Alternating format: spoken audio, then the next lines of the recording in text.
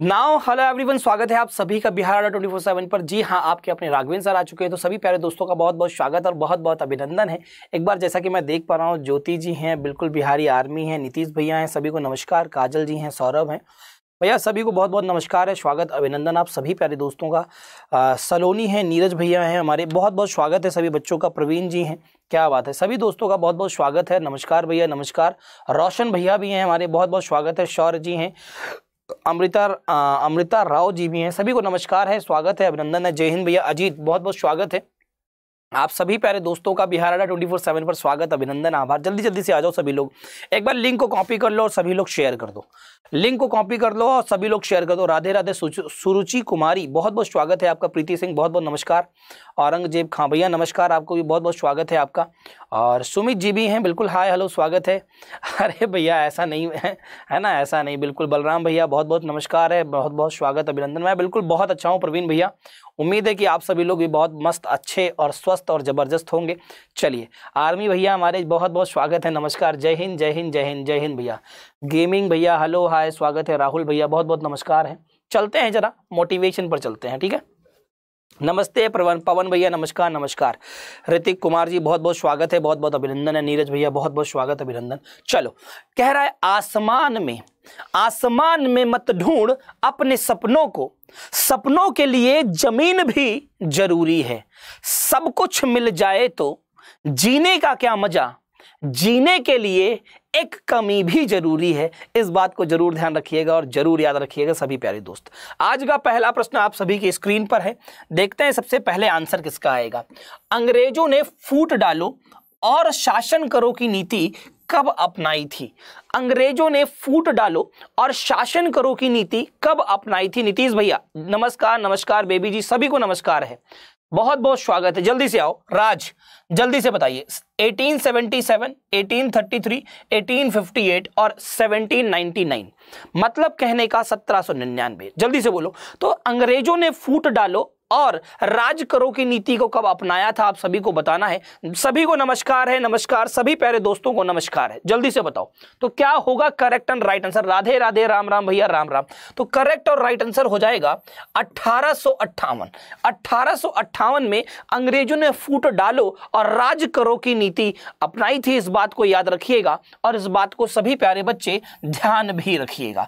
1828 याद करो वो अठारह याद करो वो समय जो अठारह की क्रांति का था, उसी के बाद कहीं ना कहीं ये ये लेकर के आए थे। हालाँकि अंग्रेज़ों की स्टार्टिंग से ही ये रणनीति रही कि फूट डालो और भारतीयों पर राज करो। इस बात को याद रखिएगा, इस बात को ध्यान रखिएगा।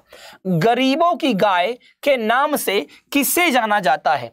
गरीबों की गाय के नाम से किसे जाना जाता है? अनिशा कुमारी बहुत बहुत नमस्कार नमस्कार भैया, उत्तम जी बहुत बहुत स्वागत है। जल्दी से आ जाओ। कह रहे गरीबों की गाय किसे कहते हैं? बकरी बकरी को, भैंस को, सुअर को या भेड़ को। फटाफट बताइएगा, गरीबों की गाय क्या कहलाती है? जल्दी से बताइए आप सभी प्यारे बच्चे। तो गरीबों की गाय जो कही जाती है, वो बकरी कहलाती है। क्या कहलाती है? बकरी को हम गरीबों की गाय कहते हैं। इस बात को याद रखिएगा और इस बात को सभी प्यारे बच्चे याद भी रखिएगा और ध्यान भी रखिएगा। क्या बात है? बहुत ज़बरदस्त, बिल्कुल। बहुत बेहतरीन। शाबाश। बस अभी अभी स्टार्ट हुआ है। याद रखिएगा और ध्यान रखिएगा क्लास और पाँच बजे तक चलेगा।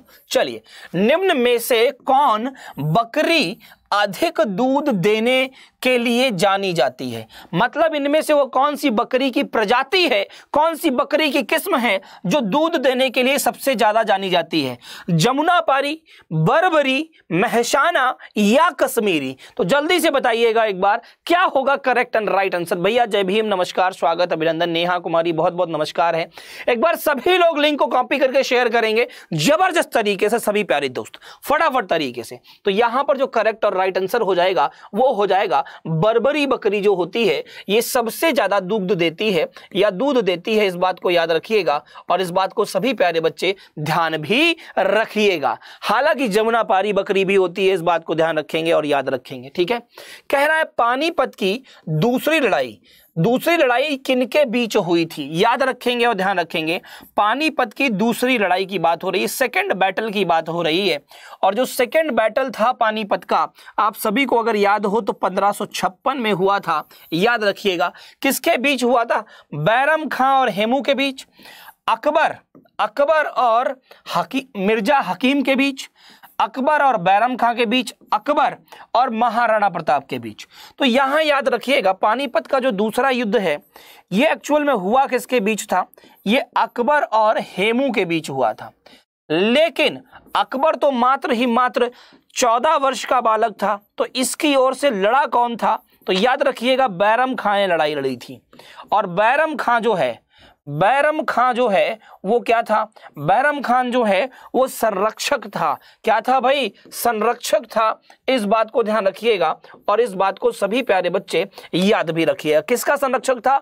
अकबर का। तो यहाँ ऑप्शन में देखो, बैरम खां दिया है, यहाँ हेमू दिया है और कहीं हेमू है ही नहीं। तो करेक्ट और राइट आंसर क्या हो जाएगा? बैरम खां और हेमू के बीच। किसके बीच में? बैरम खां और हेमू के बीच में यह हुआ था। इस बात को याद रखिएगा और इस बात को सभी प्यारे बच्चे ध्यान भी रखिएगा।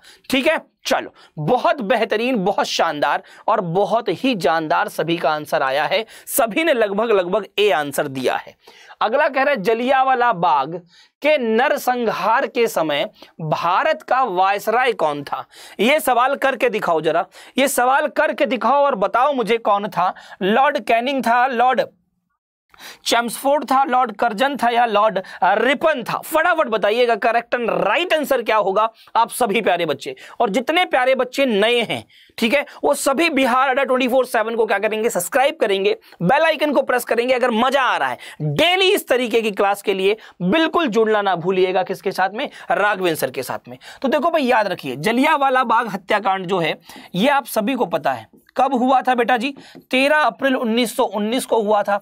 कहाँ हुआ था ये बात आप सभी को पता और याद होनी चाहिए पंजाब के अमृतसर में।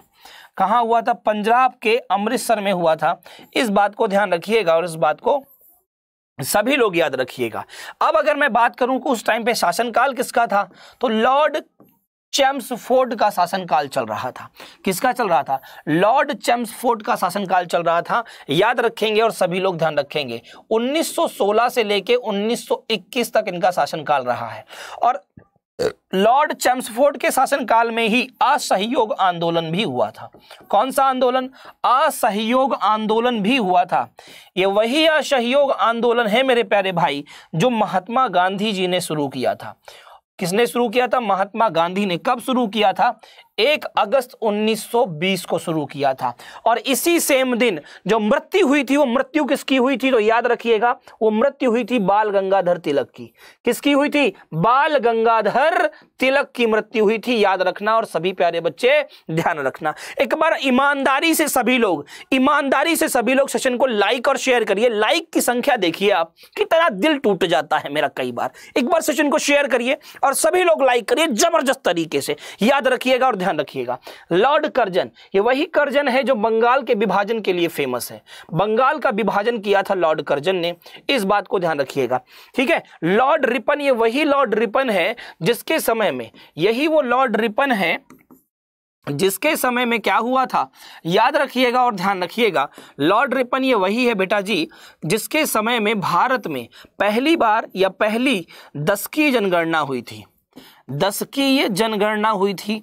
इस बात को याद रखिएगा और इस बात को ध्यान भी रखिएगा। बोलो यस और नो। फटाफट बताओ, कब हुई थी? 1881 में हुई थी। कब हुई थी? 1881 में हुई थी। लॉर्ड रिपन को स्थानीय स्वशासन का, स्थानीय स्वशासन का जनक कहा जाता है। स्वशासन का जनक कहा जाता है, इस बात को याद रखना और इस बात को सभी प्यारे बच्चे ध्यान भी रखिएगा। लॉर्ड कैनिंग ये बंगाल, ये जो है, ये व्यक्ति जो है, ये governor general of governor general of India है। जो कि लास्ट गवर्नर जनरल है। Last governor general of India है और फ़र्स्ट वायसराय ऑफ़ इंडिया है। भारत का पहला वायसराय ऑफ़ इंडिया है, वो कौन है वो आप सभी को पता है। वो कौन है बेटा जी? लॉर्ड कैनिंग है। कौन है? लॉर्ड कैनिंग है। तो करेक्ट और राइट आंसर सभी को पता चल चुका है। सर्वाधिक दूध देने वाली बकरी कौन है? जल्दी से बताओ। सर्वाधिक दूध देने वाली बकरी कौन होती है आपको बताना है? जल्दी से बताओ। थार पारकर होती है तो गाय की हो गई। मैरिनो होती है, ये तो ऊन देने वाली बकरी है जो ऑस्ट्रेलिया में पाई जाती है। जमुना पारी हो गई या पश्मीना हो गई। पश्मीना बकरी कहाँ पाई जाती है, आपको पता है? जल्दी से बोलो। बेटा जी, ये Bihar Adda twenty four seven के टेलीग्राम को आप लोग ज्वाइन करेंगे तब मिल पाएगा। ठीक है? श्योर है। देखो, याद रखिएगा और ध्यान रखिएगा, ये आपकी जमुना पारी बकरी जो है, ये सर्वाधिक दूध देने वाली बकरी होती है, याद रखिएगा। पश्मीना पश्मीना जो बकरी होती है, ये पता है? पश्मीना बकरी की जो बाल होते हैं, उसके बालों को काट करके बनाई जाती है पश्मीना ऊन। सुन लो, पश्मीना ऊन बनती है। और पश्मीना ऊन से क्या बनता है? पश्मीना सॉल बनती है। और जान लो एक बात जरा, सुन लो जरा सॉल बनती है। कहोगे, क्यों, क्या सुनाना वाले हैं सर? पश्मीना बकरी जो है, वो कहाँ पाई जाती है? लेह लद्दाख में पाई जाती है। और जितनी ज़्यादा ठंडी होगी, उतना ज़्यादा ये बकरी अपने आप को अच्छा मतलब कह सकते हो टेम्परेचर के बिहार पर अपने आप को बेहतर महसूस करती है। और एक सॉल की कीमत, पश्मीना एक सॉल की कीमत लगभग लगभग दस हज़ार रुपए होती है। एक सॉल की कीमत दस हज़ार रुपए होती है और इसको बनाने में लगभग ढाई सौ से तीन सौ घंटे का समय लगता है। तो आप समझ सकते हैं, पश्मीना बहुत अपने आप में फ़ेमस सॉल है, जो बहुत जगह फ़ेमस है, क्योंकि कश्मीर की होती है, याद रखिएगा। ठीक है? हाय हेलो स्वागत है नीलेश भैया, बहुत बहुत स्वागत है। आ जाओ। निम्न में से सबसे अधिक सबसे अधिक औसत दूध देने वाली भैंस की नस्ल कौन सी है? भैंस की नस्ल कौन सी है जो सबसे ज़्यादा दूध देती हो? बेटा जी, चार बजे क्लास स्टार्ट हो जाता है। अजय भैया, चार बजे क्लास स्टार्ट हो जाता है। बोलो यस और नो फटाफट बताओ। मुर्रा भैंस है, जाफराबादी है, भदावारी है या नागपुरी भैंस है? फटाफट बताओ। सबसे अधिक दूध देने वाली, औसत दूध देने वाली जो भैंस की नस्ल कौन सी है, ये आपको बताना है। फटाफट बताइए जरा, ज़बरदस्त तरीके से। सेशन को शेयर और लाइक कर दीजिए। जितने प्यारे दोस्त हैं, एक बार सभी प्यारे बच्चे सेशन को शेयर और लाइक कर देंगे। तो करेक्ट और राइट आंसर हो जाएगा। जाफराबादी भैंस जो होती है, ये सबसे ज़्यादा दूध देने वाली भैंस है। सबसे ज़्यादा मिल्क की प्रोडक्टिविटी इसमें होती है, इस बात को याद रखिएगा और सभी लोग ध्यान भी रखिएगा। कौन सी भैंस है बेटा जी? जाफराबादी। कौन सी है? जाफराबादी भैंस है, याद रखिएगा और सभी प्यारे बच्चे ध्यान रखिएगा। ये नस्ल है भैंस की। हालाँकि मुर्रा भी है, ये नस्ल होती है भैंस की। भदावरी ये भी नस्ल है भैंस की और ये नागपुरी ये भी नस्ल है भैंस की, याद रखिएगा और ध्यान रखिएगा। मोहम्मद गौरी जो है वो कहाँ का शासक था, आपको बताना है। मोहम्मद गौरी कहाँ का शासक था, आप सभी को बताना है। बताइए, अफ़गानिस्तान का, इराक का, पर्शिया का या तुर्की का? तुर्की का नाम क्या हो गया है? नया बताइए। तुर्की क्या नाम हो चुका है? तुर्किये याद रखिएगा और ध्यान रखिएगा। तो सभी प्यारे बच्चे बताएँगे, मोहम्मद गौरी, ये वही गौरी है भैया। कौन सा गौरी है, सर? जिसके चार युद्ध बहुत ही फ़ेमस हैं। सबसे पहला कौन सा है? गुजरात का युद्ध। गुजरात का गुजरात का युद्ध। बहुत फ़ेमस है। क्यों फ़ेमस है? क्योंकि यह बुरी तरीके से हार गया था और मारा गया था। और इसके सपने में आती थी वो महिला, जिसका नाम था नायिका देवी। ऐसे करके उठा लिया था, ऐसे करके। ऐसे करके कालर पकड़ा, ऐसे उठा लिया। बहुत मारा था इसको नायिका देवी ने। गुजरात का युद्ध। इसमें यह हार गया था। नायिका देवी जीत गई थी, मूल द्वितीय जीत गए थे। दूसरा जो युद्ध है वो प्रथम। प्रथम किसका? तराइन का युद्ध है। प्रथम तराइन का युद्ध। इसमें भी ये हार गया था, ग्यारह में, पृथ्वीराज चौहान से। फिर हुआ बेटा जी दूसरा तराइन का युद्ध। दूसरा तराइन तराइन का युद्ध। ये दूसरा युद्ध था। ये ग्यारह में हुआ था। ठीक है? अब जब दूसरा युद्ध हुआ, ये वाला जो दूसरा युद्ध है, ये गोरी और पृथ्वीराज चौहान के बीच हुआ, लेकिन इसमें पृथ्वीराज चौहान हार गए थे। गोरी जीत गया था, याद रखिएगा। और एक और युद्ध है, जिसका नाम है चंदावार युद्ध। चंदावार का युद्ध। जो चंदावार का युद्ध है यह हुआ था ग्यारह में। कब हुआ था? ग्यारह में। इसमें गोरी ने जयचंद्र को हरा दिया था, याद रखिएगा। तो करेक्ट और राइट आंसर क्या हो गया? अफ़गानिस्तान। क्या हो गया? अफ़गानिस्तान से आया था कौन? बोलो जल्दी से। गोरी। कौन सा गोरी? मोहम्मद गोरी। बोलो हाँ या ना। कह रहा है कौन व्यक्ति अनुसूचित जाति या जनजाति का सदस्य है? इसका निर्धारण करने का अधिकार किसको है? जल्दी से बताइए। कौन ये निर्धारण करेगा कि कौन व्यक्ति अनुसूचित जनजाति का है या नहीं है? राष्ट्रपति, उपराष्ट्रपति, राज्यपाल या प्रधानमंत्री? फटाफट बताइएगा। जल्दी से बताओ। जल्दी से बोलो। हाँ देखो, धोखा। अब इतनी पूरी कहानी तो नहीं सुनाई जाएगी ना बेटा कि धोखा हुआ था, नहीं हुआ तो अलग मुद्दा है वो, ठीक है। चलो, आगे आ जाओ। एक बार सेशन को अभी भी बहुत सारे लोग, देखो, लाइक की संख्या देख लो यार। लाइव है 200 लोग। लाइक कितने हैं? 85 और जब मैं क्लास में आया था तो 30 लाइक थे। मतलब अभी भी डेढ़ सौ लोगों ने लाइक नहीं किया है। ईमानदारी से एक बार ज़बरदस्त तरीके से लाइक और शेयर ठोका जाए सेशन। ज़बरदस्त तरीके से। देखिए, कोई भी व्यक्ति अनुसूचित जाति का या जनजाति का है, इसका निर्धारण करते हैं भारत के राष्ट्रपति। कौन करते हैं इसका निर्धारण? भारत के राष्ट्रपति के द्वारा इसका निर्धारण किया जाता है। इस बात को ध्यान रखिएगा और याद रखिएगा। अच्छा राष्ट्रपति अपना त्याग पत्र किसे देते हैं? तो याद रखिएगा उपराष्ट्रपति को। और उपराष्ट्रपति अपना त्याग पत्र किसे देते हैं? तो याद रखिएगा राष्ट्रपति को। खोगे अच्छा। ये एक दूसरे के वाइस वर्षा होते हैं। राज्यपाल अपना त्याग पत्र किसे देता है? राष्ट्रपति को। किसी भी राज्य का जो राज्यपाल होगा, वो अपना त्यागपत्र किसे देगा? राष्ट्रपति को। प्रधानमंत्री अपना त्यागपत्र किसे देता है? राष्ट्रपति को। बात समझ में आई कि नहीं? फटाफट बताओ। तो त्यागपत्र भी बहुत पूछे जाते हैं, इस बात को याद रखना और सभी पारे बच्चे ध्यान रखना। कह रहा है, परसीमन आयोग का अध्यक्ष कौन होता है? यह सवाल बता दो तो भैया दो लॉलीपॉप मिलेंगे। ये सवाल बता दिया तो आपको दो लॉलीपॉप मिलेंगे, ध्यान रखिएगा और याद रखिएगा। जल्दी से बताओ गृह मंत्री मुख्य चुनाव आयुक्त, प्रधानमंत्री या चुनाव आयुक्त। तो बताइए, परसीमन आयोग का अध्यक्ष कौन होता है? आपको बताना है। डिलिमिट, डिलिमिटेशन कमीशन बोलते हैं इसको। अगर मैं डिलिमिट, डिलिमिटेशन कमीशन की बात करूँ तो इसका जो चेयरपर्सन होता है, इसका जो चेयरपर्सन होता है या चेयरमैन होता है, मैं अगर उसकी बात करूँ तो इसका चेयरमैन कौन होता है याद रखिएगा और ध्यान रखिएगा, भारत का जो मुख्य मुख्य चुनाव आयुक्त होता है मुख्य चुनाव मुख्य चुनाव आयुक्त जो होता है, वही होता है। इस बात को याद रखिएगा और इस बात को सभी प्यारे बच्चे ध्यान भी रखिएगा। बोलो, मुद्दा क्लियर है? जल्दी से बोल दो। फटाफट बताओ, मुद्दा क्लियर सभी को कि नहीं?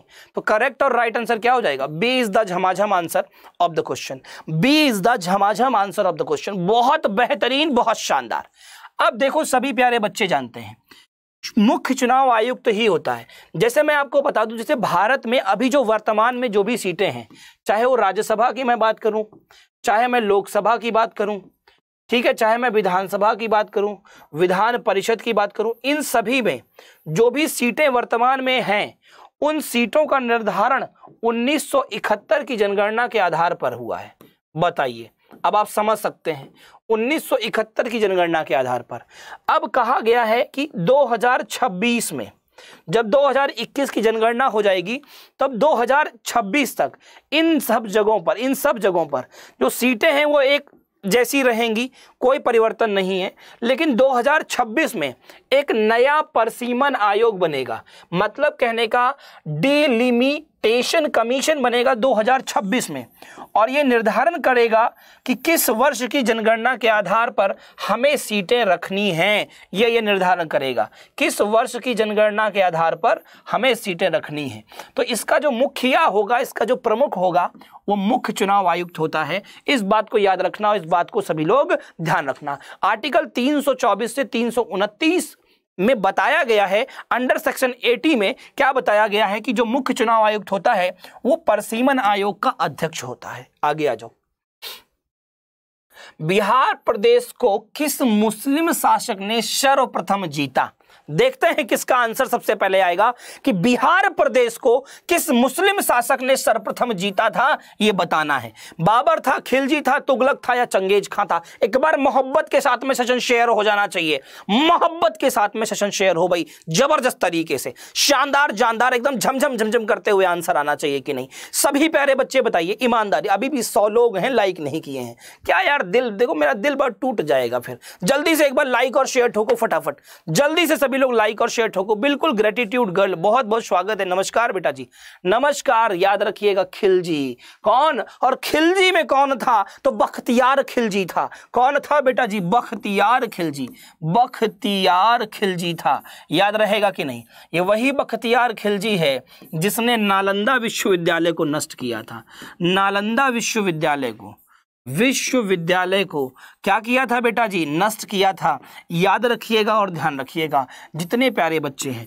नालंदा विश्वविद्यालय को इसने क्या किया था बेटा जी? नष्ट किया था। बात आती है बाबर। बाबर वही है जिसने मुगल वंश की नींव रखी है। बाबर वही है जिसने मुगल वंश की नींव रखी है। अगर मैं तुगलक की बात करूँ तो तुगलक में आता है गयाशुद्दीन तुगलक। गयाशुद्दीन तुगलक वही है जिसने तुगलक वंश की नींव रखी थी। और यही यही वो व्यक्ति है जिसने सबसे पहले नहरें खुदवाई थी। याद रखना और चंगेज खां। चंगेज खां तो बड़ा ही खतरनाक आदमी था। एक बार अपने भाई को मार डाला। बहुत पूछो क्यों मार डाला था? एक मछली के चक्कर में मार डाला था कि तुम हमको मछली खाने नहीं दो कि मार देंगे। मार दिया अपने भाई को। इतना शैतान आदमी था ये। अब आप समझ सकते हो मंगोलिया और चीन पर शासन करता था। बागवानी कृषि व्यापक है। बाग आ, बागानी बागानी कृषि व्यापक है। बताइए, बागानी कृषि जो होती है, बागानी कृषि कहाँ होती है, आपको बताना है। नील नदी की घाटियों में, करेबियाई क्षेत्र, करेबियन क्षेत्रों में, कैलिफ़ोर्निया में या मिसिसिपी की घाटियों में, फटाफट बताइएगा, ज़बरदस्त तरीके से सभी लोग। बहुत बढ़िया, शाबाश। जल्दी से बताओ मेरे प्यारे भाई, जल्दी से बोलो, फटाफट तरीके से बताओ। बहुत बेहतरीन, बहुत शानदार, जानदार, ज़बरदस्त। तो करेक्ट और राइट आंसर क्या होगा? बागानी कृषि जो व्यापक है, वो कैलिफ़ोर्निया में होती है। और कैलिफ़ोर्निया कहाँ है बेटा जी? तो यूएसए में है। कैलिफ़ोर्निया का यूएसए मतलब अमेरिका में है, इस बात को याद रखिएगा और इस बात को सभी लोग ध्यान रखिएगा। गूगल का जो हेडक्वार्टर है, वो कैलिफ़ोर्निया में तो है। गूगल का जो हेडक्वार्टर है, वो कैलिफ़ोर्निया में तो है। दुनिया की, विश्व की सबसे बड़ी लंबी नदी। विश्व की विश्व की। सबसे लंबी नदी, सबसे लंबी नदी, जो है वो कहाँ पर है? बोलो, वो मिस्र मिस्र से शुरू हो रही है मिस्र काहिरा नील नदी है, और नील नदी में ही नील नदी की घाटियाँ पाई जाती हैं, इस बात को याद रखना और ध्यान रखना। कह रहा है कुजबास कुजबास कोयला क्षेत्र। कुजबास कोयला क्षेत्र निम्नलिखित में से किस राज्य में स्थित है? जल्दी से बताओ। जो कुजबास कोयला क्षेत्र है, वो निम्नलिखित में से किस राज्य में स्थित है आपको बताना है। मोहब्बत के साथ में एक बार बताया जाए। रूस में, कजाकिस्तान, पोलैंड और यूक्रेन। आजकल तो दंगा भी चल रहा है यूक्रेन और रूस का। फटाफट बताओ, देखिए क्या होगा, राइट आंसर। जल्दी से बताइए, फटाफट बताइए। हाँ इसके ऊपर अभी कार्य चल रहा है, इसके ऊपर अभी कार्य चल रहा है इंद्रजीत जी, ठीक है? इसके ऊपर अभी कार्य चल रहा है, अभी सीटों का निर्धारण नहीं हुआ है, अभी होना बाकी है। भैया खुश रहिए डिस्ट्रॉय भैया खुश रहिए, का बहुत बहुत खुश रहिए, ठीक है? हाँ इंद्रजीत, बहुत बढ़िया। बेटा जी, इस पे काम चल रहा है, पर सीमन कमीशन उनका डिसाइड हुआ है तो अभी सिर्फ़ विधानसभा के लिए है, अभी आने वाले समय के लिए अभी डिसाइड होगा, ठीक है? चलो, आगे आ जाओ बेटा जी। तो याद रखिएगा करेक्ट और राइट आंसर हो जाएगा रूस। क्या हो जाएगा? रूस हो जाएगा, इस बात को याद रखिएगा और इस बात सभी प्यारे बच्चों को ध्यान रखिए, ध्यान रखेंगे, ठीक है? आज मैं लेट हो गया। कोई बात नहीं बेटा, कोई बात नहीं, विजय भैया, ठीक है? तो कहाँ स्थित है ये? ये कोयला क्षेत्र है, रूस में स्थित है, याद रखिएगा और ध्यान रखिएगा, ठीक? आगे आ जाओ। कह रहे मुगल काल में सर्वप्रथम किस शहर में अंग्रेज़ों ने अपने कारखाने स्थापित किए थे? जल्दी से बताओ कमेंट बॉक्स में क्या होगा आंसर मुगल काल में, मुगल काल में कह रहा है, अंग्रेज़ों ने अपने सबसे पहले कारखाने कहाँ स्थापित किए थे? मद्रास, कलकत्ता, मुंबई या सूरत? और आप सभी को पता है कि जहांगीर के दरबार में आने वाला पहला अंग्रेज़ अंग्रेज़ था जिसका नाम क्या था? Captain Hawkins. बोलो यस और नो कैप्टन कैप्टन हॉकिंस बोलो यस और नो फटाफट बताओ हॉकिंस आया था कि नहीं आया था? तो कैप्टन हॉकिंस हालाँकि जहांगीर के दरबार में कई लोग यूरोपीय आए थे। कैप्टन हॉकिंस थे तो टॉमस रो थे, और आपके विलियम फिंच थे विलियम टेरी थे तो कई लोग आए थे। लेकिन उनमें से सबसे पहले आने वाला व्यक्ति कैप्टन हॉकिंस था, याद रखिएगा। और इन्होंने जो कारखाना स्थापित किया था, वो स्थापना की थी सूरत में। कहाँ की थी बेटा जी? सूरत में स्थापित किया था, इस बात को ध्यान रखना और इस बात को सभी प्यारे बच्चे याद भी रखेंगे। एक बार ज़बरदस्त तरीके से, मोहब्बत के साथ में सेशन को शेयर करिएगा। अभी भी अभी भी पूरे 80 लोग हैं जिन्होंने सेशन को लाइक और शेयर नहीं किया है। दबा करके सेशन को लाइक और शेयर किया जाए और साथ ही साथ में जो भी नए बच्चे हैं एकदम नए बच्चे हैं, वो डेली जुड़ते रहे Bihar Adda twenty four seven को। तो भैया क्या करना है यूट्यूब चैनल को सब्सक्राइब कर लेना है बेल आइकन को प्रेस कर लेना है, जिससे कि आपको मेरी क्लास डेली मिलती रहेगी और ज़बरदस्त तरीके से आप पढ़ते रहेंगे। ठीक है? याद रखेंगे और ध्यान रखेंगे। अच्छा ये तीनों के तीनों क्या है? ये तीन प्रेसिडेंसी हुआ करती थी, याद रखिएगा। ये तीन जो है, ये प्रेसिडेंसी हुआ करती थी। अब आप कहोगे प्रेसिडेंसी क्या होता है गुरु प्रेसिडेंसी ऐसे स्थान जहाँ से अंग्रेज़ अपना शासन चला रहे थे तरीके से। ठीक है? अड्डा जो है अंग्रेज़ों का, वो तीन हुआ करता था, ये तीन। और यही तीन आगे चल करके प्रेसिडेंसी बैंक के रूप में बन गए बन प्रेसिडेंसी बैंक बना दिए गए थे। कौन कौन से थे? Presidency bank of Calcutta, presidency bank of Bombay, presidency bank of Madras. ये तीन बैंक भी बना दिए गए थे 1806 में। प्रेसिडेंसी बैंक ऑफ़ कलकत्ता था 1840 में प्रेसिडेंसी बैंक ऑफ़ मुंबई आया और फिर 1843 में प्रेसिडेंसी बैंक ऑफ़ मद्रास आ गया था। आगे चल करके यही तीनों बैंक मर्ज हो गए थे और बन गया था क्या भैया? Imperial bank of India. और कब मर्ज हुए थे? तो याद रखिएगा और ध्यान रखिएगा 1921 में मर्ज हुए थे। ये तीनों प्रेसिडेंसी बैंक कब मर्ज हुए थे? 1921 में मर्ज हुए थे और बन गया था इंपीरियल बैंक। कुछ कह रहा है, देखो आज थोड़ा बड़ा मोटिवेशन है, थोड़ा बड़ा मोटिवेशन है, याद रखिएगा और ध्यान रखिएगा। कह रहा है, पृथ्वी पर ऐसा कोई भी व्यक्ति नहीं, जिसको समस्या ना हो, और कोई ऐसी समस्या नहीं, जिसका कोई समाधान ना हो। मंजिलें चाहे कितनी भी ऊँची क्यों ना हो, उसका रास्ता हमेशा पैर के नीचे से ही गुजरता है। बोलो यस और नो। फटाफट बताओ। तो याद रखना और सभी लोग ध्यान रखना एक तरीके से कि यहाँ पर स्थिति बड़ी ही बेहतर हो जाती है आप लोगों की। कह रहे हैं भैया, पृथ्वी से निकटतम दूरी पर स्थित ग्रह कौन सा है? बृहस्पति बुद्ध शुक्र या पृथ्वी। लो, पृथ्वी तो होगा नहीं, पृथ्वी के निकट। अब देखो, सूर्य। ये जो है, ये है सन हमारा। ये क्या है सन? सन के पास में सबसे पहला क्या है? बुद्ध फिर क्या है? शुक्र। बोलो हाँ या ना? फिर क्या है? पृथ्वी। फिर क्या है? मंगल। मंगल के बाद क्या है? बृहस्पति। शनि। शनि के बाद अरुण। अरुण के बाद वरुण। बोलो यस और नो कुल मिला के आठ ग्रह हैं। बोलो यस और नो तो ये रहा बुद्ध ये कौन सा है बेटा जी? ये रहा शुक्र। बोलो यस और नो ये रहा पृथ्वी। ये रहा पृथ्वी। ये रहा कौन सा? मंगल। तो ये जो चार ग्रह हैं, इन्हें हम कहते हैं आंतरिक ग्रह। या अंग्रेज़ी में कहना चाहो तो इनर प्लेनेट कह सकते हो। ठीक है? ये कौन सा है? ये है बृहस्पति। बृहस्पति। बोलो यस सर नो। बृहस्पति। ठीक है? ये कौन सा है? ये है शनि। ये कौन सा है? ये है अरुण। ये कौन सा है जी? ये है वरुण। बोलो हाँ या ना। ये चार कहलाते हैं बाह्य ग्रह। इसका मतलब है आउटर प्लेनेट कहते हैं इन्हें। बाह्य ग्रह या आउटर प्लैनेट्स कहते हैं। बोलो यस और नो अब देखो, पृथ्वी के सबसे नज़दीक या तो शुक्र है इधर से, और या तो मंगल है। ऑप्शन चेक करो। मंगल है कहीं? नहीं है। शुक्र है कहीं? दिख गया। ये लो हैप्पी बर्थडे टू यू हो गया सवाल का कि नहीं? सवाल का हैप्पी बर्थडे टू यू हो गया कि नहीं? और इसी को हम क्या कहते हैं? शुक्र की जुड़वा बहन भी शुक्र को क्या कहते हैं? पृथ्वी की पृथ्वी की जुड़वा बहन कहते हैं। जुड़वा बहन भी कहा जाता है। ठीक है? अच्छा सुन लो और।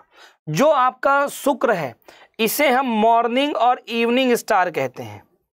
मॉर्निंग और इवनिंग स्टार कहते हैं। इस बात को याद रखिएगा और ध्यान रखिएगा, ठीक है? अच्छा जो पृथ्वी है, पृथ्वी को हम क्या कहते हैं? नीला ग्रह कहते हैं। नीला का मतलब है ब्लू प्लैनेट कहते हैं। बोलो, बताया था कि नहीं बताया था हमने आपको? शुक्र और शुक्र और बुध दो ऐसे ग्रह हैं जिनके पास कोई भी उपग्रह नहीं है। उपग्रह नहीं है। बृहस्पति सबसे बड़ा सबसे बड़ा ग्रह है। सबसे बड़ा बड़ा ग्रह है। और ग्रह होने के साथ साथ में दूसरे नंबर पर आता है उपग्रहों के नाम पर। उपग्रह भी इसके पास सबसे, दूसरे नंबर पर सबसे ज़्यादा हैं। लगभग 79 उपग्रह हैं। कितने? 79 उपग्रह पाए जाते हैं। और सबसे पूरे सौर मंडल में सबसे बड़ा उपग्रह बृहस्पति का ही है, जिसका नाम है ज्ञानमीड। क्या नाम है? ज्ञानमीड ग्रह है, उपग्रह है, जो सैटेलाइट है, बृहस्पति का वो सबसे बड़ा सैटेलाइट है। अब आप देखिए, यहाँ से अगर देखेंगे तो आपको लगेगा कि इसके पास तो उपग्रह है नहीं। पृथ्वी के पास एक लौता उपग्रह है, जिसे हम कहते हैं मून या चंद्रमा। मंगल के पास दो उपग्रह हैं। एक को कहते हैं फोबोस फोबोस और दूसरे को कहते हैं डीमोस। बोलो हाँ या ना। एक है फोबोस, दूसरा है डीमोस।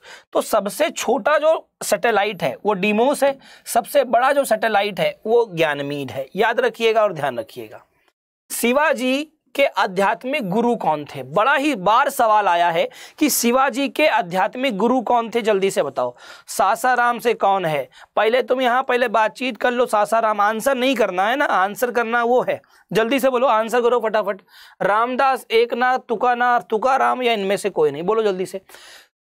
जो शिवाजी थे, उनके आध्यात्मिक गुरु कौन थे? आपको बताना है। जल्दी से बोलो। शिवाजी के आध्यात्मिक गुरु कौन थे? बताइए जल्दी से। शिवाजी के आध्यात्मिक गुरु। तो याद रखिएगा और ध्यान रखिएगा, गुरु रामदास। शिवाजी के आध्यात्मिक गुरु थे, ध्यान रखिएगा, और सभी लोग यह ध्यान रखने के साथ साथ याद भी रखिएगा। बिल्कुल A is the right and झमाझम आंसर ऑफ़ द क्वेश्चन बहुत बेहतरीन जलवा है सरकार। एक बार सेशन शेयर होना चाहिए कि नहीं? अभी भी लोगों ने लाइक और शेयर बराबर नहीं किया। बहुत गलत बात है। एक बार सभी लोग मोहब्बत के साथ में सेशन को लाइक करो। अस्सी लोग अभी भी बाकी जिन्होंने लाइक नहीं किया है। याद रखना और ध्यान रखना। तुकाराम तो महाराष्ट्र के महाराष्ट्र के एक आ, कह सकते हो कि मराठा साम्राज्य में हुआ करते थे ठीक है? तो एक गुरु जैसे थे इस बात को याद रखना। पृथ्वी के केंद्र में पाया जाने वाला चुंबकीय पदार्थ है ग्रेनाइट है डा, डा, डायो राइट है निकिल है बेसाल्ट है। पृथ्वी के केंद्र में अरे जी देखो ये रही पृथ्वी ये रही पृथ्वी ये रही पृथ्वी। बोलो हाँ या ना? इस तरीके से, मैं बना दूँ पृथ्वी, मैं बना दूँ पृथ्वी। बोलो हाँ या ना? तो अगर मैं यहाँ से इसको निकालूं तो ये सेंटर है कि नहीं है? बोलो तो ये सेंटर हुआ कि नहीं हुआ? तो इसे क्या कहते हैं? इसे कहते हैं कोर। और कोर में क्या पाया जाता है? तो सभी को पता है, निकिल पाया जाता है और आयरन पाया जाता है। ऑप्शन चेक करो, कहीं दिया हुआ है। ज़बरदस्त तरीके से। ये कोर था तो ये क्या था? ये मेंटल है, सर। अरे पागल नहीं है ये मेंटल है। क्या है ये? मेंटल है। जल्दी से बोलो हाँ या ना। क्या पाया जाता था इसमें? इसमें पाया जाता है सिलिकॉन और मैग्नीशियम बोलो यस और नो सिलिकॉन और मैग्नीशियम ये क्या है? ये क्रस्ट है, भूपटल है। क्या पाया जाता है? सिलिकॉन और एल्यूमिनियम पाया जाता है। बोलो यस और नो फटाफट बताया करो। कह रहा है, दांडी यात्रा में गांधी जी ने कितनी दूरी तय करके नमक कानून का विरोध किया था? 248 किलोमीटर, तीन सौ छियासी, दो सौ पिचासी दो सौ चौरासी और तीन सौ पिचासी किलोमीटर। फटाफट बताइए एक बार, ज़बरदस्त तरीके से राइट आंसर क्या होगा? फटाफट बोलेंगे सभी प्यारे बच्चे, कोई भी रुकेगा नहीं, बहुत बेहतरीन, बहुत शानदार। जल्दी से एक बार सेशन को शेयर और लाइक ठोका जाए, बेहतरीन तरीके से जरा। तो याद रखिएगा, दांडी जी की, दांडी सॉरी गांधी जी की जो दांडी यात्रा है, नाम भी ऐसा पड़ जाता है, गांधी जी की जो दांडी यात्रा है। अगर मैं दांडी यात्रा की बात करता हूँ, बेटा जी तो ये शुरू की गई थी। कब शुरू की गई थी? याद रखिएगा 12 मार्च 12 मार्च 1930 को शुरू हुई थी और 6 अप्रैल 1930 तक चली थी। लगभग लगभग गांधी जी ने 24 दिनों तक ये यात्रा की थी। कितने दिनों तक? 24 दिन तक ये यात्रा की। ये यात्रा साबरमती से शुरू हुई थी। साबरमती से शुरू हुई थी और कहाँ तक गई थी? तो याद रखना और सभी लोग ध्यान रखना, ये दांडी तक गई थी। कहाँ तक गई थी? दांडी तक गई थी। इसमें गांधी जी डेली डेली चलते थे दस मील। दस मील पैदल चलते थे गांधी जी। मतलब कुल मिला के गांधी जी गांधी जी 240 मील पैदल चले। और 240 मील लगभग लगभग अगर देखोगे तो 200 तीन सौ किलोमीटर के बराबर होता है याद रखना और सभी लोग ध्यान रखना। बहुत शानदार बहुत जानदार बिल्कुल झमाझम। ठीक है? बिल्कुल झमाझम। भारत में मुस्लिम लीग की स्थापना कब हुई? बताइए। भारत में मुस्लिम लीग की स्थापना कब की गई थी? सभी लोगों को बताना है। बोले जल्दी से। 1907, 1908, 1909 और 1906 बोलो फटाफट। देखो, मुस्लिम लीग की जो स्थापना है, अगर मैं इसकी बात करता हूँ, इसकी स्थापना 30 दिसंबर 1906 को की गई थी। कहाँ पर की गई थी? तो आप कहोगे ढाका में की गई थी। बिल्कुल सही बात है। और 1907 में इन्होंने अपना संविधान बनाया था। इन्होंने किन्होंने? मुस्लिम लीग ने। कहाँ पे बैठ के? कराची में बैठ के। 1908 में 1908 में इन लोगों ने अपना पहला अधिवेशन किया था, अमृतसर में।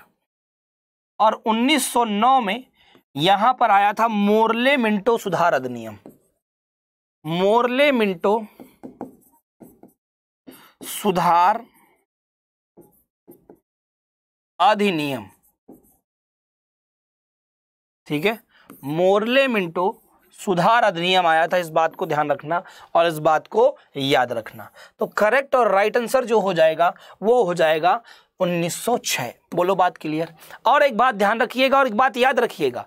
मुस्लिम लीग की स्थापना करने वाले जो लोग थे, सलीमुल्ला खान, वकारुल मुल्क, मोहसिनुल मुल्क, आगा खान, ये सारे के सारे लोग यहाँ पर एग्जिस्ट कर रहे थे, याद रखिएगा।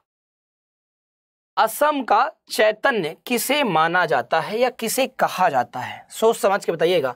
असम का चैतन्य किसे कहा जाता है या माना जाता है? लाल गिर को शिव नारायण को दरिया साहेब को या शंकर देव को? जल्दी से बताओ। फटाफट बताओ। एक बार सभी प्यारे बच्चे, एक बार सभी प्यारे बच्चे मोहब्बत के साथ में सेशन को लाइक और शेयर करेंगे और अभी भी सत्तर से अस्सी लोग हैं जिन्होंने लाइक और शेयर नहीं किया है। बहुत गलत बात है, मज़ा नहीं आएगा फिर। एक बार ज़बरदस्त तरीके से सेशन को लाइक और शेयर किया जाए, ज़बरदस्त। सभी प्यारे बच्चे तो याद रखिएगा, शंकर देव। जो शंकर देव हैं इनको कहा जाता है असम का चैतन्य। क्या कहते हैं? असम का चैतन्य कहते हैं। प्रथम पिछड़ा वर्ग आयोग का गठन कब किया गया था? सोच समझ के बताइएगा। प्रथम पिछड़ा वर्ग आयोग का गठन कब किया गया था, बताइए। 1950 इक्यावन, तिरपन और सत्तावन। फटाफट बोलो। 1950 इक्यावन तिरपन और सत्तावन। तो याद रखिएगा और ध्यान रखिएगा, पिछड़ा वर्ग आयोग की अगर मैं बात करता हूँ पिछड़ा वर्ग आयोग की अगर मैं बात करता हूँ तो इसकी स्थापना कब की गई थी? तो याद रखिएगा और ध्यान रखिएगा, जितने प्यारे बच्चे हैं, इसकी स्थापना उन्नीस में की गई थी। कब की गई थी बेटा जी? उन्नीस में की गई थी। इस बात को याद रखिएगा और इस बात को सभी प्यारे बच्चे ध्यान भी रखिएगा, ठीक है? याद रखिएगा और सभी लोग ध्यान भी रखिएगा। अब मेरी बात को ध्यान से सुनिए। उन्नीस सौ इक्यावन में भैया पहली पंचवर्षीय योजना शुरू हुई थी। फ़र्स्ट फाइव ईयर प्लान आया था, फाइव ईयर प्लान आया था, याद रखिएगा, जो उन्नीस सौ इक्यावन से शुरू होकर 1956 तक गया था। 1950 में क्या हुआ था? 1950 में पंद्रह मार्च को 15 मार्च 1950 को अगर मैं बात करता हूँ तो याद रखना और सभी लोग ध्यान रखना 15 मार्च 1950 को क्या हुआ था बेटा जी? तो यहाँ पर योजना आयोग की स्थापना की गई थी। किसकी स्थापना की गई थी? योजना आयोग की स्थापना की गई थी। और योजना आयोग के जो चेयरमैन होते थे, वो कौन होते थे आप सभी को पता है? योजना आयोग के चेयरमैन भारत के प्रधानमंत्री होते हैं। हालाँकि अब ये बंद हो चुका है, बंद हो चुका है और इसके स्थान पर नीति आयोग आ चुका है। क्या आ चुका है? नीति आयोग आ चुका है। National institution for transforming India और इसकी स्थापना 1 जनवरी 2015 को 1 जनवरी 2015 को की गई थी। इस बात को ध्यान रखिएगा और इस बात को सभी लोग याद भी रखिएगा। ठीक है? तो करेक्ट और राइट आंसर जो हो जाएगा, वो क्या हो जाएगा बेटा जी? सॉरी उन्नीस हो जाएगा। देखो क्या करना है। बावन नहीं, उन्नीस हो जाएगा। इस बात को ध्यान रखिएगा। ठीक? कह रहा है, सबसे ज़्यादा वशा किस भैंस के दूध में पाया जाता है? सबसे ज़्यादा जो फैट होता है, वो किस भैंस के दूध में पाया जाता है? इस बात को याद रखिएगा। मुर्रावाली में, भदावरी में, महसाना में या नागपुरी में? फटाफट बताओ। सबसे ज़्यादा जो बेसिकली भैंस का दूध जो है, ठीक है, उसमें सबसे ज़्यादा जो फैट है, फैट का मतलब वशा जो है, वो किसमें पाया जाता है? किस भैंस के दूध में? बताओ। जल्दी से बोलो कौन सी होगी। सबसे ज़्यादा जो दूध देती है वो जाफरावादी होती है, याद रखिएगा। जाफरावादी होती है, याद रखना और सभी लोग ध्यान रखना। एक बार मोहब्बत के साथ सेशन को शेयर करिए सभी लोग, ज़बरदस्त तरीके से। तो याद रखिएगा भदावरी। कौन सी बेटा जी? भदावरी जो भैंस होती है, जो भदावरी भैंस होती है, ये वो भैंस है जिसमें सबसे ज़्यादा फैट होता है दूध में। किस इतिहासकार ने अकबर द्वारा प्रतिपादित दीन ए इलाही को एक धर्म कहा? जल्दी से बताओ। किस इतिहासकार ने अकबर द्वारा प्रतिपादित दीन इलाही को एक धर्म कहा था? अबुल फजल ने निजामुद्दीन अहमद ने अब्दुल कादिर बद, बदायूनी ने और इनमें से कोई नहीं। बताइए फटाफट क्या होगा राइट एंड झमाझम आंसर क्या होगा राइट एंड झमाझम आंसर ऑफ़ द क्वेश्चन बहुत बेहतरीन। वेरी गुड जल्दी से बोलो एक बार। बहुत ही शानदार, जानदार, बिल्कुल झमाझम आंसर तो याद रखिएगा अबुल फजल। और अबुल फजल जो है, वो दीन ए इलाही, सुन लीजिए। दीन ए इलाही का, दीन ए इलाही का ऑफिशियल ऑफिशियल क्या हुआ करता था? पृष्ठ हुआ करता था। मतलब पूजा पाठ करने वाला, ठीक है? और दीन ए इलाही को मानने वाला जो पहला और अंतिम व्यक्ति था, वो था बीरबल। कौन था बेटा जी? बीरबल। और बीरबल का ही नाम है महेश दास। बीरबल का ही नाम था महेश दास। इस बात को याद रखना और सभी लोग ध्यान रखना। पिछड़ा वर्ग आयोग का गठन कौन करता है? बोलो जल्दी से। पिछड़ा वर्ग आयोग का गठन कौन करता है? आप सभी को बताना है। जल्दी से बताइए। प्रधानमंत्री रा, राष्ट्रपति गृह मंत्री या उप उप उप उप राष्ट्रपति? फटाफट बोलो क्या होगा? पिछड़ा वर्ग आयोग। देखो, किसी भी प्रकार का कोई भी वर्ग आयोग हो, चाहे वो पिछड़ा वर्ग आयोग हो, चाहे वो अनुसूचित जनजाति आयोग हो, चाहे वो अनुसूचित जाति आयोग हो, किसी भी प्रकार का आयोग हो, उन सभी की जो कहते हैं नियुक्ति या उन सभी का गठन जो होता है, वो राष्ट्रपति के द्वारा किया जाता है। कोई भी आयोग हो, याद रखिएगा, कोई भी आयोग, राष्ट्रीय चाहे वो पिछड़ा वर्ग आयोग हो, चाहे अन्य पिछड़ा वर्ग आयोग हो, चाहे वह अनुसूचित जनजाति आयोग हो और चाहे कोई और आयोग हो, उसकी नियुक्त क्या गठन कौन करेगा? भारत का राष्ट्रपति करेगा, याद रखना, और सभी लोग ध्यान रखना। ऊन के लिए ऊन के लिए विख्यात पशु पश्मीना क्या है? बताइए। ऊन के लिए विख्यात पशु पश्मीना क्या है? बताओ कमेंट बॉक्स में। जल्दी से बताओ मुझे, क्या होगा करेक्ट एंड राइट आंसर भेड़, बकरी, खरगोश या क्या होगा? जल्दी से बोलो। और ये लाइक की संख्या जो है ना, अभी भी मैं बता दूँ आप सभी प्यारे बच्चों को, लगभग लगभग पचास लोग हैं जिन्होंने लाइक और शेयर नहीं किया है। एक बार मोहब्बत के साथ में सेशन को लाइक और शेयर करिए सभी प्यारे बच्चे। जितने प्यारे साथी हैं, एक बार सेशन को लाइक और शेयर ज़बरदस्त तरीके से करेंगे, एकदम झमझम करते हुए। बहुत बेहतरीन, बहुत शानदार। तो सभी लोग बताइए, कौन है जी? तो बकरी है भाई, कौन है, बकरी है, कहाँ पाई जाती है, कहाँ पाई जाती है? जल्दी से बोलो। तो ये पाई जाती है जम्मू कश्मीर के रीजन में। जम्मू और कश्मीर में पाई जाती है। पहले जम्मू कश्मीर एक ही था, अब लद्दाख अलग हो गया है। तो अब जम्मू कश्मीर और लद्दाख भी आप कह सकते हैं, याद रखना। आगे आ जाओ। कह रहा भारत, भारतीय संविधान के किस अनुच्छेद में निर्वाचन आयोग का वर्णन है? ये सवाल तो बिल्कुल है, एकदम कहते नहीं है। बिल्कुल ही क्या हो गया? ये देखो, बकरी आ गई भैया। बकरी आ गई, मंडल साहब ले आए हमारे। क्या बात है? एकदम सफ़ेद ऊन वाली बकरी थी। क्या बात है? हाय, हेलो, स्वागत है सभी का, नमस्कार है। आंसर करते रहो बेटा जी, ज़बरदस्त तरीके से। ओ हो हो ए और डी में कंफ्यूजन हो गया, कोई बात नहीं। रियांश भैया भी ले आए हैं बकरी। दो सौ अस्सी तीन सौ चौबीस, तीन सौ छप्पन और तीन सौ तैतालीस, क्या होगा? तो निर्वाचन आयोग को बताया गया भारतीय संविधान के अनुच्छेद 324 से लेकर के तीन सौ उनतीस में। 324 से तीन सौ उनतीस में बताया गया है। याद रखिएगा और ध्यान रखिएगा। वित्त आयोग कहाँ बताया गया है? वित्त आयोग। वित्त आयोग को बताया गया है बेटा जी 280 में। तीन सौ छप्पन में क्या बताया गया है? राष्ट्रपति शासन। कौन सा शासन? राष्ट्रपति शासन। तीन सौ तैतालीस में क्या बताई गई है? भाषा, जिसे हम कहते हैं लैंग्वेज क्या बोलते हैं? लैंग्वेज आगे आ जाओ। कह रहा अकबर ने सर्वप्रथम वैवाहिक संबंध राजपूतों के जिस ग्रह से स्थापित किए वह था। मतलब राजपूतों में भी कई प्रकार के राजपूत, कई प्रकार के क्षत्रिय होते हैं।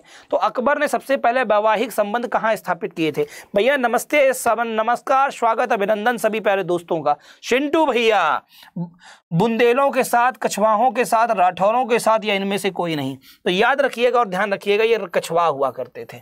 कौन होते थे? कछवा हुआ करते थे, इस बात को ध्यान रखिएगा और याद रखिएगा। सिट्रस कैंकर सिट्रस कैंकर नामक जो एक क्या है ये? आपको बताना है। सिट्रस कैंकर, ठीक है? क्या है आपको बताना है? नींबू का एक रोग है, नींबू का एक प्रसिद्ध कीट है। नींबू की एक प्रजाति है, इनमें से कोई नहीं है। एक बार मोहब्बत के साथ सेशन को लाइक और शेयर करो। सभी प्यारे बच्चे। मोहब्बत के साथ में लाइक और शेयर ठोका जाए ज़बरदस्त तरीके से। जितने प्यारे साथी हैं। याद रखिएगा और ध्यान रखिएगा, सभी प्यारे दोस्त जितने ज़बरदस्त साथी हैं यहाँ पर यह एक नींबू का रोग होता है। ये एक नींबू का रोग होता है, जिसे हम क्या कहते हैं, जय लक्ष्मी बहुत बहुत स्वागत है, नमस्कार, गुड इवनिंग, बिल्कुल झमझम झमझम करते हुए। आगे आ जाओ। पोलबर्थ भेड़ का जन्म स्थान कहाँ है? मतलब पोलबर्थ नामक भेड़ जो है, पोलबर्थ नामक क्या बोलो? पोलबर्थ एक किस्म होती है भेड़ की, वो कहाँ पाई जाती है आपको बताना है। जल्दी से बताओ इंग्लैंड में है, स्पेन में है, सऊदी अरब में है, या फिर मेरे प्यारे भाई, मेरे प्यारे दोस्त इस ऑस्ट्रेलिया में है। जल्दी से बोलो, मरीनो ऊन कहाँ पाई जाती है, आपको पता होना चाहिए। जहाँ मरीनो ऊन होती है, वहाँ मरीनो बकरी और भेड़ भी होती है। तो ये भैया पोलबर्थ भेड़ है, और पोलबर्थ भेड़ जो है, वो भी ऑस्ट्रेलिया में ही पाई जाती है। याद रखना, जितेंद्र मेरे भाई, बहुत बहुत नमस्कार है। स्वागत है तुम्हारा, अभिनंदन है मेरे प्यारे दो प्यारे दोस्त। जल्दी से आ जाओ, कह रहा है, निम्नलिखित में से कौन राष्ट्रीय राष्ट्रीय विकास परिषद का अंग नहीं होता है। राष्ट्रीय विकास परिषद का अंग कौन नहीं होता है? जल्दी से बता दो। एक बार जल्दी से बताओ, राज्य का राज्यपाल, योजना आयोग के सदस्य या फिर राज्यों के मुख्यमंत्री या प्रधानमंत्री? ईमानदारी से अभी भी पचास लोग हैं, लाइक नहीं किया है। एक बार लाइक और सेशन को शेयर करो फटाफट। लाइक और सेशन को शेयर करो फटाफट, जल्दी जल्दी से, जल्दी जल्दी से। आज बहुत सारे न्यू क्वेश्चन देखने को मिले। अरे भैया, अभी तो पार्टी शुरू हो रही है। अब पार्टी शुरू होगी तो बहुत कुछ नया देखने को मिलेगा। जल्दी से नमस्ते नमस्ते, लवी जी, बहुत बहुत स्वागत है। करेक्ट और राइट आंसर हो जाएगा राज्यों के राज्यपाल। राज्यों के राज्यपाल राष्ट्रीय विकास परिषद का हिस्सा नहीं होते, याद रखिएगा। कह रहा है, अंग्रेज़ी शासन काल में भारत का कौन सा क्षेत्र अफीम उत्पादन के लिए प्रसिद्ध था? बताओ जी, भारत का कौन सा हिस्सा था? बिहार था, दक्षिण भारत था, असम था या गुजरात था? जल्दी जल्दी से बोलो। बहुत बेहतरीन, बहुत शानदार, बहुत जानदार, बिल्कुल झम झम झम झम करते हुए answer. Good evening Swati ji, बहुत बहुत नमस्ते नमस्ते नमस्ते। सभी लोग एक बार सेशन को लाइक और शेयर करो पहले। सेशन को लाइक और शेयर करो। सभी प्यारे बच्चे जितने नए हैं ना वो सभी के सभी Bihar Adda twenty four seven को सब्सक्राइब करेंगे बेल आइकन को प्रेस करेंगे, जिससे कि मोहब्बत की क्लास विद राघवेन सर छूटनी नहीं चाहिए only on Bihar Adda twenty four seven पर। ठीक है? सभी प्यारे बच्चे do share and like every one तो भैया, बिहार था यार, बिहार था बिहार था भैया, बताओ, बिहार मतलब पहले से ही खैनी चल रही है हम लोगों के हैं? चलो, कोई बात नहीं, आगे आ जाओ। कोई बात नहीं। नींबू नींबू का कैंकर रोग किसके कारण होता है? नींबू का जो कैंकर रोग है, नींबू होता है ना लेमन। लेमन का जो कैंकर रोग है किसके कारण होता है? जीवाणु का वाली बीमारी है, विषाणु की है सैवाल वाली बीमारी है, या कवक फफूंदी वाली बीमारी है। जल्दी से बताओ, फटाफट बताओ, ज़बरदस्त तरीके से। बहुत शानदार, बिल्कुल झमाझम आंसर आ रहा है। देखना अब यह है किसका आंसर सबसे पहले आएगा। बहुत बेहतरीन। एक बार ईमानदारी से, नेहा, कितने बार नमस्ते करोगी नेहा कुमारी? है? आंसर नहीं कर रही हो, नमस्ते बस करती जा रही हो बिटिया। जल्दी जल्दी से आंसर करो। जल्दी जल्दी से बोलो, आंसर नहीं आया है। तो आंसर हो जाएगा जीवाणु की बीमारी है। कौन सी बीमारी है? जीवाणु की बीमारी है। कह रहा है मिली बग मिली बग किस फ़सल से संबंधित है? बोलो, मूंगफली से, सरसों से, गन्ना से, ज्वार से। मिली बग जो है, ये प्रजाति है। किससे संबंधित है? मूंगफली, सरसों, गन्ना या ज्वार से? तो याद रखिएगा और ध्यान रखिएगा, ये सरसों से संबंधित है। कौन सी किस्म है सरसों की? याद रखना, और सबसे ज़्यादा पानी किस फ़सल को चाहिए होता है? सबसे ज़्यादा पानी किस फ़सल को चाहिए होता है? गन्ना को। और गन्ना के बाद किसे चाहिए होता है? तो आप कहोगे चावल को। चावल सबसे ज़्यादा कहाँ होता है? पश्चिम बंगाल में। और गन्ना सबसे ज़्यादा कहाँ होता है? उत्तर प्रदेश में। याद रखना, ध्यान रखना, प्रार्थना समाज की स्थापना किसकी प्रेरणा के फलस्वरूप हुई थी? जल्दी बताओ। केशव चंद्र सेन विद्यासागर गोपाल हरि देशमुख और देवेंद्र नाथ टैगोर। फटाफट बताइए क्या होगा करेक्ट एंड राइट तो झम झम झम झम करते हुए। बहुत शाबाश। मस्टर्ड बो हो, हो क्या बात है। बहुत शानदार। वेरी गुड याद रखिए केशव चंद्र सेन के द्वारा स्थापना करी गई थी किसकी भैया? प्रार्थना समाज की। याद रखेंगे और ध्यान रखेंगे। चाय में लाल रस्ट रोग किसके कारण होता है? विषाणु जीवाणु सहवाल हरे सहवाल या फिर कवक के द्वारा। चाय में लाल रस्ट रोग होता है। किसके द्वारा होता है आपको बताना है। किसके द्वारा होता है लाल रस्ट रोग आपको बताना है। तो याद रखिएगा और ध्यान रखिएगा यह एक हरे सहवाल के कारण होता है। किसके कारण होता है? यह एक हरे सहवाल के कारण होता है लाल रस्ट रोग चाय में। गन्ना देखा है, गन्ने में कई जगह बीच बीच में जो पुइया होती है, उसमें लाल लाल सी लाइन खिंची होती है। आदमी गन्ना का जूस पिरवा के पी जाता है। भैया, उसमें कीड़ा होता है, मत पिया करो। है? ध्यान रखिएगा। स्वतंत्रता प्राप्ति के समय महात्मा गांधी क्या थे? बताओ जल्दी से, स्वतंत्रता के समय महात्मा गांधी क्या थे? कांग्रेस कार्य समिति के सदस्य थे? अच्छा। कांग्रेस के अध्यक्ष थे? अच्छा। कांग्रेस के सदस्य नहीं थे? अच्छा। कांग्रेस के महासचिव? भैया, ये कुछ नहीं थे कांग्रेस के। ये कुछ नहीं थे कांग्रेस के। तो कांग्रेस के सदस्य नहीं थे। याद रखिएगा और ध्यान रखिएगा, ये थोड़ा सा कॉन्सेप्चुअल क्वेश्चन है। मोहन कुमार, नमस्कार बहुत बहुत स्वागत है। नमस्कार मेरे प्यारे भाई। बहुत बेहतरीन। एकदम झम झम झम झम करते हुए आंसर आ रहा है। झम झम झम झम झम एक बार सेशन को लाइक और शेयर किया जाए। ज्योति जी, एक बार सेशन को लाइक और शेयर किया जाए, बेटा जी, एक बार। चलिए करेक्ट एंड राइट आंसर क्या हो जाएगा? C is the right answer of the question C is the right answer of the question. सभी प्यारे बच्चे, Bihar Adda twenty four seven के टेलीग्राम ग्रुप से जुड़ जाएँगे। पीडीएफ आपको वहीं मिल जाएगी। जो भी बच्चा कुछ भी परचेज करना चाहता है यूज़ करेगा कोड क्या यूज़ करेगा? मैक्सिमम डिस्काउंट के लिए वाई तीन सौ इकसठ और आपको सेवेंटी एट परसेंट का डिस्काउंट मिलेगा। ठीक है? फिर इसके बाद क्या करना है? आप सभी प्यारे बच्चे, ध्यान रखिएगा। जो Bihar Adda twenty four seven YouTube channel है। सभी लोग उसको शेयर कर दीजिए और सभी लोग उसे सब्सक्राइब कर लीजिए बेल आइकन को प्रेस कर दीजिए और साथ ही साथ में लाइक और सेशन को कर दीजिए ज़बरदस्त तरीके से। ठीक है? ये भैया जी बैच ले लो, अभी भी कह रहा हूँ मैं समय है। बहुत अच्छा बैच है। तुरंत अड्डा टू फोर सेवन जो है, अड्डा ट्वेंटी फोर सेवन का ऐप डाउनलोड कर लो। तुरंत आप इसको ऑल कहाँ जाओ? कोर्स में चले जाओ। कोर्स में जाने के बाद बिहार पर चले जाओ। बैच दिखेगा तुरंत। रजिस्टर्ड कर लो अपने आप को। कोड यूज़ कर लो वाई तीन सौ इकसठ। जैसे यूज़ करोगे, वैसे ही सेवेंटी एट परसेंट का डिस्काउंट मिल जाएगा। याद रखिएगा और ध्यान रखिएगा। और ये बैच मात्र और मात्र उन्नीस सौ अस्सी में मिल जाएगा। क्यों महत्वपूर्ण है ये बैच? इसके लिए अगर जानना चाहते हो तो मैं आपको बता देता हूँ। इसमें हम बिहार का जो पुलिस से संबंधित दोनों वैकेंसी आने वाली हैं, एक सिपाही आने वाला है, उसका भी पढ़ाएँगे, दूसरा दरोगा आएगा, उसे भी पढ़ाएँगे। तीसरा आपका बिहार का फायरमैन का जो एग्ज़ाम है सत्ताईस को, इसे भी हम इसी में आपको पढ़ाएँगे। और बिहार का एसएससी जो आने वाला है, पूरा उसको भी पढ़ाएँगे। तो एक तीर से चार निशाने बनेंगे, इस बात को ध्यान रखना, इसलिए बहुत अच्छा बैच है, बहुत इंपॉर्टेंट है आप सभी के लिए। अगर कोई चाहता है कि नहीं नहीं, हम तो सिर्फ़ बिहार का फायरमैन ही लेंगे तो भी वो अड्डा ट्वेंटी फोर सेवन का ऐप डाउनलोड कर ले और तुरंत इसे परचेज कर सकता है और ऑल कोर्स में जाके, बिहार में जाकर के सिलेक्ट करके बैच को ले पाएगा। कोड डिस्काउंट चाहिए कोड यूज़ करना पड़ेगा वाई तीन सौ इकसठ यूज़ करिए बैच मिलेगा सात सौ पैंतीस रुपए में, मात्र और मात्र सात सौ पैंतीस में। ठीक है? झारखंड एक्साइज का भी ये सेम वही करना है। अडा ट्वेंटी फोर सेवन का ऐप डाउनलोड करना है। विज़िट करना है आप सभी को कहाँ पे? ऑल कोर्स में। ऑल कोर्स से बिहार पर जाना है। बिहार से जाने के बाद में आप अपना जीमेल डालिए व्यू ऑफ़र करिए। कोड लगाइए वाई तीन सौ इकसठ जैसे लगाएँगे, वैसे ही आप इस बैच को आठ सौ आठ रुपये में प्राप्त कर लेंगे। ठीक है? ये झारखंड का पेपर का पेपर वन है। इसे भी आप सभी लोग परचेज कर सकते हैं ट्वेंटी फोर सेवन ऐप को डाउनलोड करके इस बात को ध्यान रखिएगा।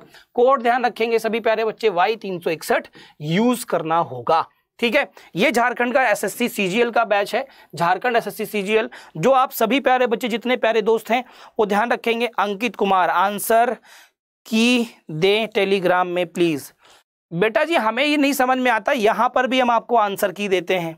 तो आपको फिर वहाँ भी आंसर की चाहिए। तो फिर पढ़ते क्या हो? फिर पढ़ते क्या हो भाई? ये बताओ अच्छा जल्दी से बताओ, ठीक है? तो थोड़ा पढ़ने के लिए भी कोशिश करो। चलिए Adda twenty four seven app की अगर बात करूँ, इसको डाउनलोड करोगे, कोड यूज़ करोगे वाई तीन सौ इकसठ आपको ये बैच मात्र और मात्र आठ सौ अस्सी रुपये में प्राप्त हो जाएगा, इस बात को ध्यान रखना। ठीक? और ये है बेटा जी अच्छा ये अंतर्राष्ट्रीय वुमेंस डे का कल का लगा होगा। ठीक है? तो सभी प्यारे बच्चे ध्यान रखेंगे और याद रखेंगे। सबसे पहला आपको काम क्या करना है? Bihar Adda twenty four seven को क्या कर लेना है? सब्सक्राइब कर लेना, जितने नए बच्चे हैं। बेल आइकन को प्रेस कर लेना है, ठीक है? जिससे कि लगातार मेरी क्लासें मिलती रहें। दूसरी चीज़, जो अड्डा ट्वेंटी फोर सेवन का ऐप है, उसे डाउनलोड कर लीजिए, क्योंकि आप सभी के लिए इसलिए इंपॉर्टेंट है, पिछले सितंबर से लेकर के इस फरवरी तक का जो करंट है, वो पूरा मिल जाएगा वहाँ पर। डाउट सेशन मिल जाएँगे क्विज मिल जाएँगे डेली के तो वो डेली के डेली करते रहिए। और पूरे छह महीने का करंट अफेयर भी तैयार कर लीजिए, क्योंकि एग्ज़ाम में छह महीने का करंट अफेयर पूछा जाएगा। इस बात को ध्यान रखिएगा और इस बात को याद भी रखिएगा, ठीक है? इस बात को ध्यान रखना और याद रखना। बाकी हम लोगों की मुलाकात होती रहेगी। कहाँ पर? Bihar Adda twenty four seven पर। रात आठ बजे भी क्लास होता है मेरा तो आप सभी लोग वहाँ भी पढ़ सकते हैं मोहब्बत की क्लास में, ठीक है? तो चलिए, मुलाकात करते हैं, तब तक के लिए thank you so much bye bye take care जय हिंद। Love you all